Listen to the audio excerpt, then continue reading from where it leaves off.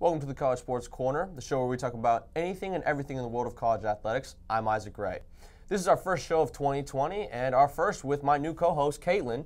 Caitlyn is a swimmer here at Campbell, and I'm very happy to have her on board. Welcome, Caitlyn. Thank you, Isaac.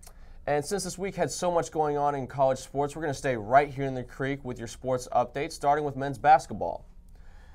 Men's basketball lost last night to the Presbyterian Blue Hose 85 to 79. Campbell was able to stay within four with one minute remaining before Presbyterian sunk all eight of their foul shots in the final minute to seal the game. The loss dropped the Camels to 11 and 8 on the season and 2 and 5 in Big South play. But Caitlyn, what's been going on in the women's basketball team? The women's basketball team will be tipping off against Charleston Southern tonight in Gore Arena at 7 p.m. The Camels are seeking their sixth straight win in a row. With a win at home tonight, the Camels at 8 and 0 could post its best home start since 1997-1998 season when Campbell started 12-0 at home.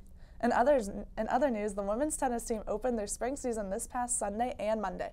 The girls claimed two wins with a 7-0 win against Tennessee State and a 5-2 win against Belmont. But Isaac, what's been happening on the mat recently?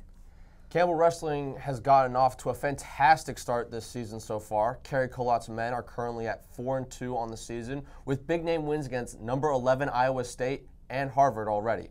On Saturday, the Camels hosted the Citadel in Gore Arena for the first home match of the season. The Camels won 9 out of the 10 weight classes to defeat the Bulldogs 42 3. Next, the Camels will host the Blue Hose of Presbyterian this Saturday at 12 p.m. in Gore Arena. Well, that's all the time we have for today. Thank you for joining us today on the College Sports Corner. Make sure to leave us a like and share us and leave a comment on what you think about today's topic. We also want to shout out Campbell Athletics for the photos we used in today's show. And until next week, we hope to see you then. I'm Isaac Ray. I'm Caitlyn Edwards. Thanks for watching.